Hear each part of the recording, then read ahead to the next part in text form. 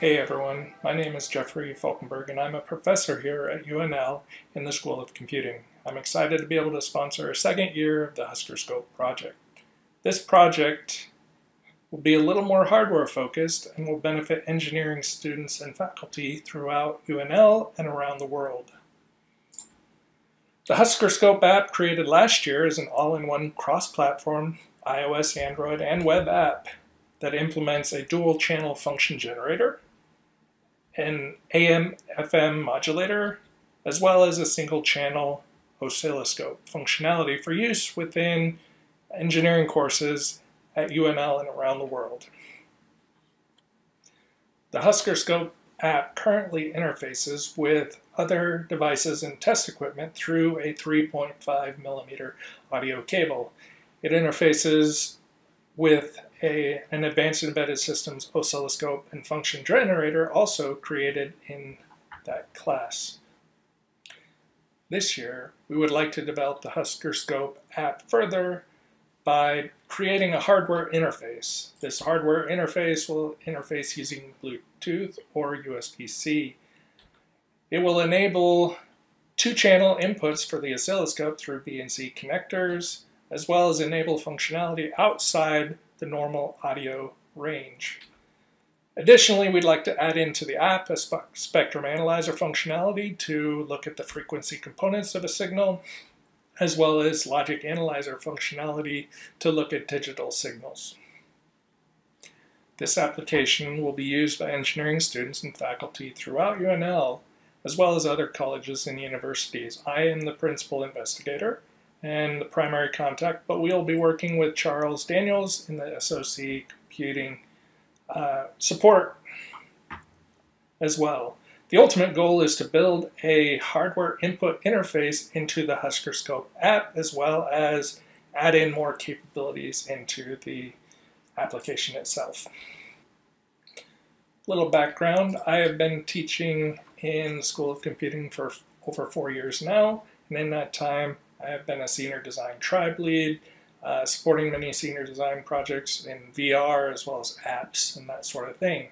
Additionally, I also teach courses like computer organization where students learn how to uh, build and design a NIOS processor and implement it on a uh, DE10 Lite FPGA.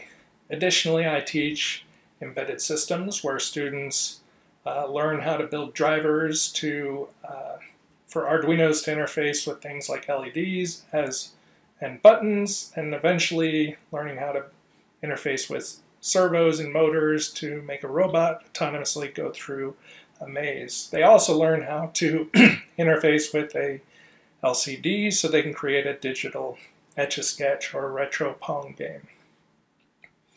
Lastly, I teach an, an advanced embedded systems class, which ultimately is why we created the Huskerscope app in the first place. In Advanced Embedded Systems, students learn in the first three uh, labs how to build an oscilloscope, which is one of the capabilities of our app. In that oscilloscope outputs through on the is built on the Nexys Video FPGA and outputs through the HDMI to a display and they have audio inputs and outputs that interface uh, to put waveforms on the display for the oscilloscope, and in Lab 4 they design a function generator. Uh, and you can take a look at uh, the course for next spring as well. The problem we have, and the problem we want to solve, is there are lots of single function free apps available for Android, but there are limited free apps available for iOS. Most those apps are not multifunction and they're not cross-platform apps, meaning being able to be operated on both architectures. Additionally, our microphone on our phones limit the input voltage and the frequency of our system. The solution is that we want to expand into an all-in-one cross-platform, so iOS, Android, and web app, which it currently is, but we also want it to be able to accept multiple inputs since it's only able to do one right now, as well as be able to analyze analog and digital signals outside the standard audio range. This diagram shows the typical configuration for the HuskerScope app interfacing with uh, the Advanced Embedded Systems oscilloscope and function generator through that 3.5 millimeter stereo audio jack cable. Currently, our app outputs through the left and right channels. The left and right channels shown in these diagrams, as well as inputting through the microphone for the oscilloscope. Again, some phones don't have that headphone jack, but can use a USB or Lightning charging port headphone jack adapter to be able to connect the system to.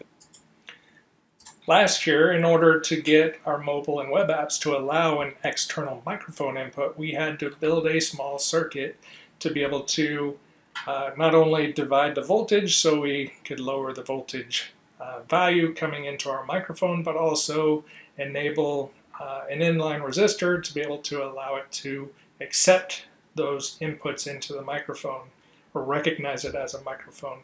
Uh, on the right, we connect our three-pole cable from our function generator, and we have a uh, switch that allows us to choose left or right channel, and then that gets fed into the oscilloscope. Students last year prototyped a breakout board for students to use in the Advanced Embedded Systems class, and that's shown right here.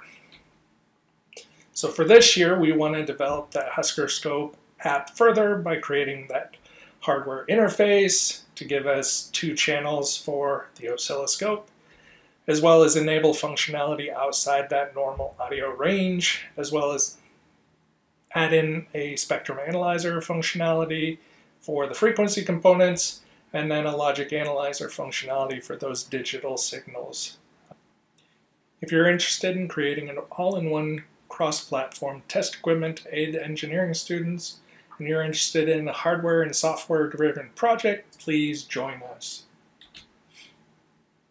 I hope you decide to join the HuskerScope team and continue with the excellent work that last year's senior design team was able to accomplish. Thank you.